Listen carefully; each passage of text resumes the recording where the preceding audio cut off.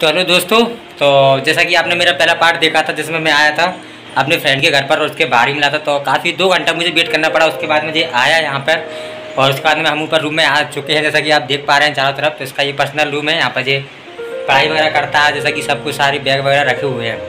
तो दोस्तों ये मेरा फ्रेंड्स है भाई अपना नाम बताओ जिनको हेलो करो। हाय ऑडियंस मेरा नाम है सुमित।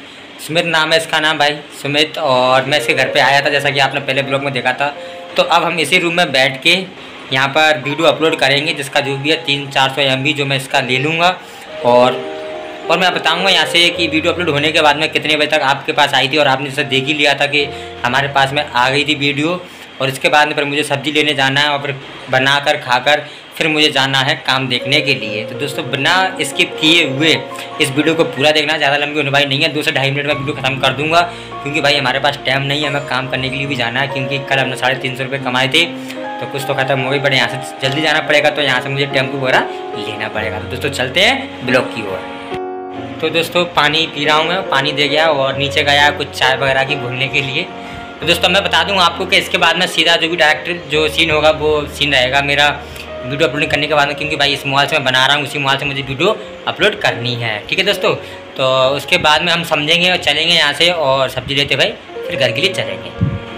हाँ, तो दोस्तों हमारे पास में मोबाइल आ चुका है जो कि फ्रेंड चला रहा है और इसके बाद में ये हॉटस्पॉट उसने ओपन कर दिया।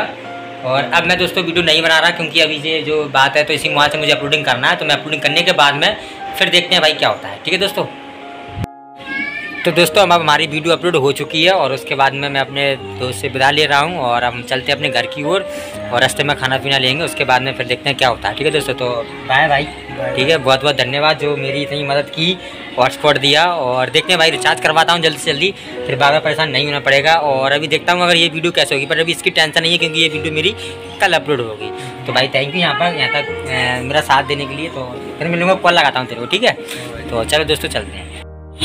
तो यहाँ पे बरसात के कारण बहुत ही ज़्यादा माहौल ख़राब हो चुका है और फ़िलहाल सब्ज़ी की दुकान मार्केट यानी कि चारों तरफ़ देख सकते हैं। यहाँ पर जो मार्केट में मैं आ चुका हूँ और देखूँगा यहाँ पर कुछ सब्ज़ी अच्छी मिल जाएगी और उसके बाद में वो सब्ज़ी को घर पे ले जाना है काटना है पीटना है और बनाना। है और उसके साथ साथ में देखेंगे कि भाई आज अब हमको काम पे भी जाना है।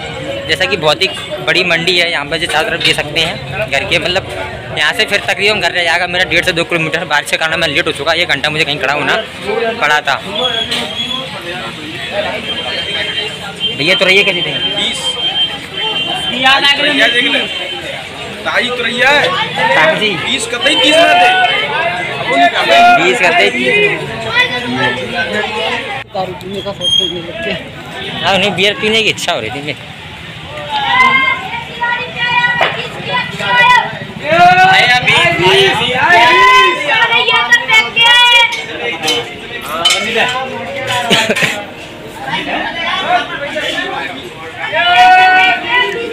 देख पा रहे हैं चारों तरफ़, जो कि है, सब्ज़ी वगैरह बिछ रही हैं यहाँ पे। जो भी लोग आगे देख रहे हैं मुझे कि भाई ये वीडियो क्या बना रहा है। बट मार्केट जो भी है, यहाँ की बहुत अच्छी मार्केट है।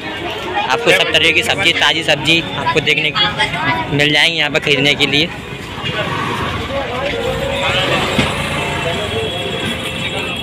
चलो देखते हैं और क्या। रैया क्या है? ठीक है चलती बस दाल कौन उबाला उबाली करे उसके बाद में? तो देखेंगे भाई, कुछ ना कुछ तो करना ही है अपन को। तो दोस्तों, बस आप लोगों से इतना ही कहना था था मुझे, कि भाई जो भी है स्ट्रगल करना पड़ता है लाइफ में, और मैं सोच रहा हूँ कि भाई मुझे कहीं ना कहीं एक परमानेंट अच्छी सी जॉब मिल जाए, उसके बाद में मेरा डेली ब्लॉग आया करेगा कि भाई मैं क्या कर रहा हूँ, क्या नहीं कर रहा चारों तरफ़, और उसके साथ साथ में यहाँ पर मार्केट है, जो कि भीड़ भक्कड़ बहुत ज़्यादा हो चुका है। बट यहाँ की फ़ेमस मार्केट है जो कि आपको सब्ज़ी, दूध वगैरह, दही, सारी चीज़ें आपको मिल जाएँगी इस मार्केट में साथ साथ आने के बाद में। और मैं बता दूँ कि ले आने के बाद में बस मेरा ये भगवान करे, आज काम लग जाए। ताकि काम लगने के बाद में फिर मैं यहाँ पर अपना एक, ज़्यादा नहीं तो जियो का रिचार्ज एक सौ निन्यानवे वाला ही करा लूँगा भाई ये पीने के लिए। तिरपाल वगैरह लखा लखी है पानी के चक्कर में यहाँ के लोगों ने। इस तरीके का पूरा व्यूज़ आप चेक कर सकते हैं चारों तरफ़। और ये मैं आ गया हूँ मार्केट के किराए पर। एक ये गली है एक ये गली है, एक ये गली है। तो यहाँ से आप चारों तरफ़ कहीं पे भी कोई सी भी जगह सौदा ले सकते हैं। फ़िलहाल मैं बहुत लंबा आ चुका हूँ, सौदा ले लेता हूँ। और फिर मैं बस सीधा यहाँ से ब्लॉग होगा मेरा घर के लिए, क्योंकि भाई ब्लॉग बनाने के चक्कर में बहुत ज़्यादा मैं लेट हो रहा हूँ, क्योंकि शायद मुझे काम मिले या नहीं मिले। ठीक है? तो दोस्तों, फ़िलहाल मैं सब्ज़ी ले आया हूँ और मेरी किचन का गेट खुला हुआ है और यहाँ पर मैं बनाऊँगा सब्ज़ी और उसको खाकर फिर चलते हैं, कोई काम तलाशने के लिए। तो दोस्तों, फ़िलहाल आज के ब्लॉग में इतना ही, क्योंकि मैं ज़्यादा बड़ी वीडियो नहीं करना चाहता, क्योंकि सारी ऑडियंस है जो मुझसे बोलती है, भाई, बहुत लंबा ब्लॉग कर रहे हो।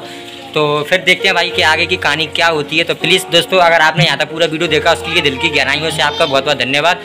तो और अगर आप ऐसे ही हमारे चैनल पर वीडियो देखना चाहते हैं तो हमारे चैनल को सब्सक्राइब कीजिएगा, बेल आइकन को ऑन कर देना।